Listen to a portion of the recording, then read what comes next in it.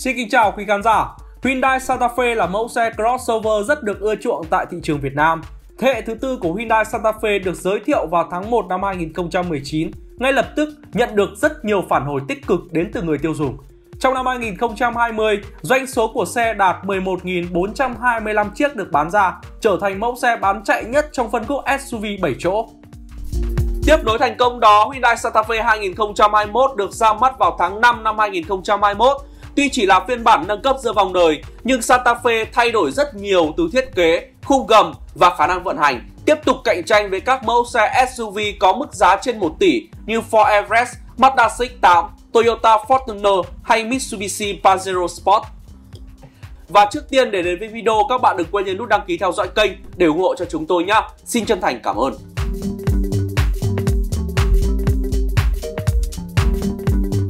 Về phần giá bán, Hyundai thành công phân phối tổng cộng với 6 phiên bản, giao động từ 1 tỷ 030 triệu đồng tới 1 tỷ 340 triệu đồng.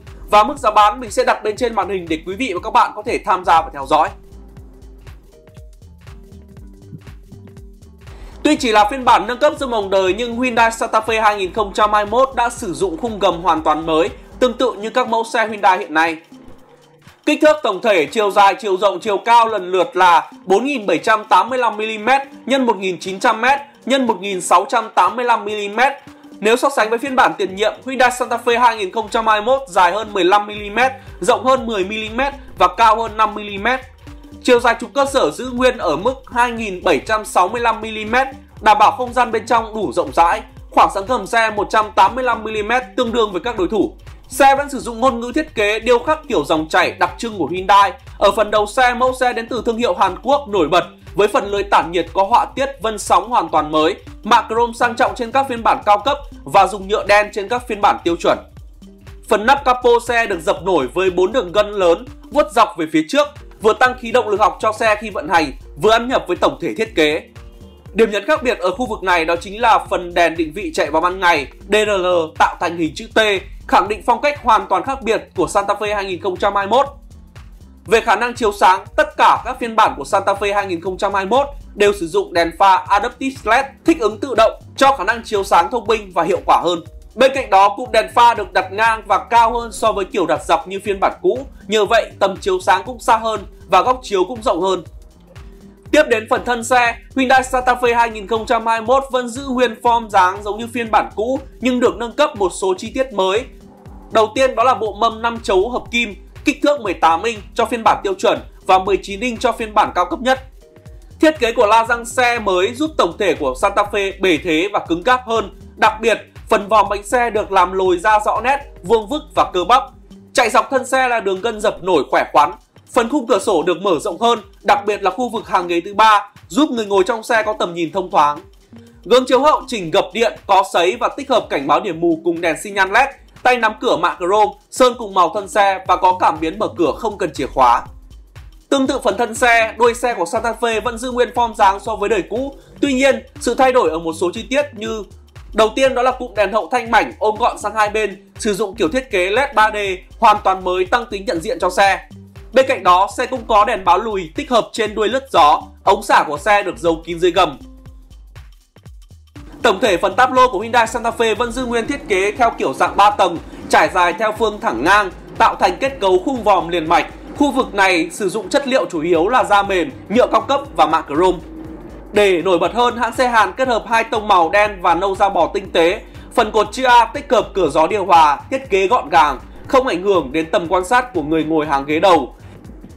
Xe được trang bị vô lăng 3 chấu bọc da, các phím bấm tích hợp trên vô lăng bao gồm đàm thoại rảnh tay, tăng giảm âm lượng, ga tự động cruise control, cảnh báo chệch làn đường, lẫy chuyển số sau vô lăng.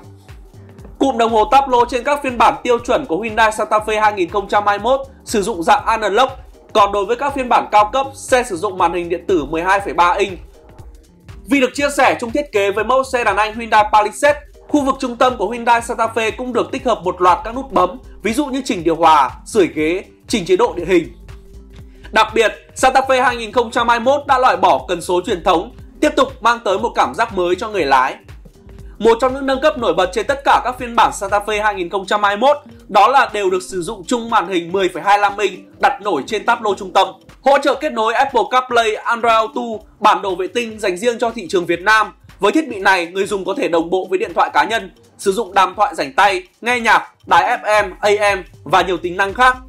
Bên cạnh đó, cả 6 phiên bản của Hyundai Santa Fe 2021 đều được trang bị hệ thống 10 loa Harman Kardon. Đi kèm với đó là bộ âm ly rời, tích hợp bộ xử lý thông minh, mang đến trải nghiệm âm thanh trung thực.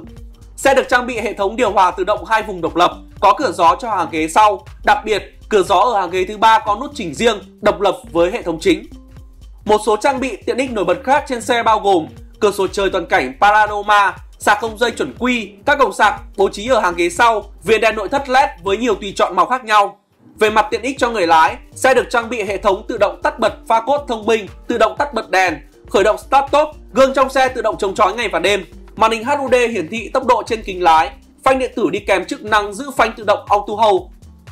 Hyundai Santa Fe 2021 có hai tùy chọn động cơ bao gồm động cơ xăng Smart Dream 2.5 phun xăng đa điểm, sản sinh ra 180 mã lực mô men xoắn cực đại đạt 232 Nm. Động cơ dầu Smart Dream D2.2 sản sinh ra 202 mã lực, mô men xoắn cực đại đạt 444 Nm. Trong đó, các phiên bản máy xăng sử dụng hộp số tự động 6 cấp, còn máy dầu sử dụng hộp số tự động 8 cấp ly hợp kép.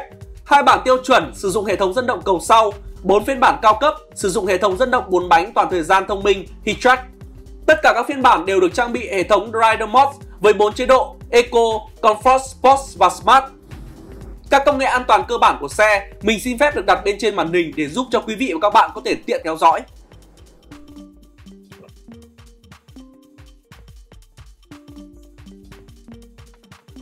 Còn lại các công nghệ an toàn cao cấp đáng chú ý nằm trong gói an toàn Smart Sense bao gồm hệ thống hỗ trợ đỗ xe chủ động, hệ thống hỗ trợ giữ làn đường, đèn pha thích ứng Adaptive High Beam, hệ thống giám sát và phòng tránh va chạm điểm mù, hệ thống phòng tránh va chạm với người đi bộ. Vừa rồi là những chia sẻ chi tiết về chiếc Hyundai Santa Fe 2021. Cảm ơn quý vị các bạn đã tham gia theo dõi. Xin kính chào và hẹn gặp lại.